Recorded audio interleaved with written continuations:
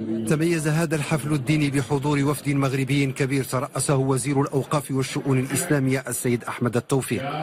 وقد ظل المغرب حريصا على أن يكون الوفد الذي يمثل المملكة في هذه التظاهرة الدينية الكبيرة. في مستوى هذا الحدث الذي يكتسي دلالة مهمة ومناسبة للتلاقي وتشجيع قيم الإسلام السمحة في مقدمتها المعرفة والعمل والتسامح والسلم.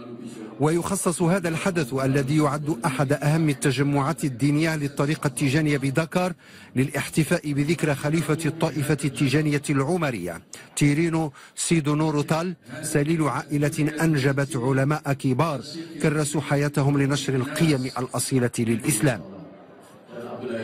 يمثلنا صاحب الجلالة الهامي ملة الإسلام والدين كآدته في ليس هنا فقط في هذه الزاوية بل في جميع زوايا السنغال بل وفي في أفريقيا كلها. لأن من يرأى لابد أن يقوم بواجبات ما. كلكم راء وكلكم مسؤول رأيته. وهذا من مسؤولياته. دائما يأتون ويشاركون معنا في هذا الموسم وفي المواسم أخرى نقدر هذا المشاركة حق التقدير. وفي كلمة بالمناسبة أكد السيد أحمد التوفيق الذي مثل جلالة الملك في هذا الحفل أن الأسرة العمرية دأبت كل سنة على تخليد ذكرى خلفاء الزاوية التيجانية العمرية مبرزا أن أحفاد هذه الطريقة يحملون مشعل ترسيخ الشريعة الحقة بفضل التربية الصوفية التي تنهل من نصوص القرآن الكريم. كلفني أمير المؤمنين صاحب الجلالة الملك محمد السادس عزاه الله.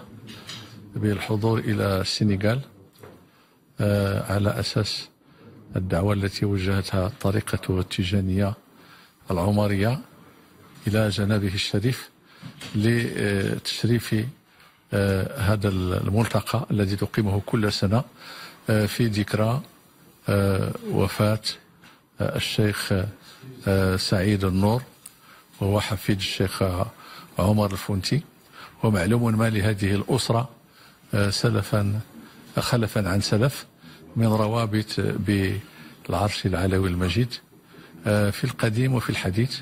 فهذه الأسرة هي التي ذهب يعني شيوخها للقاء صاحب الجلالة الملك محمد الخامس رحمه الله عندما عاد من المنفى بالرغم من عتو الاستعمار هنا في السنغال. وهم الذين ظلوا أوفياء للعهد الذي بينهم وبين هذه الأسرة يستمد منها ويعترفون بأن مرجعهم في هذا التدين المشترك في الثوابت المشتركة هو من المغرب. حضرت وبلغت تحية جنابه الشريف إلى هذه الطريقة وإلى الطرق الحاضرة وإلى كل من حضر من رجالات الدولة السنغالية في, في هذا المقام. وتعد الطريقة العمرية إحدى أكبر الزوايا بالسنغال ومهد الإسلام الصوفي المتعدد المشارب والروابط المشتركة مع المدارس الصوفية بالمغرب التي تميزت بإشعاعها بمجموع القارة على مدى قرون.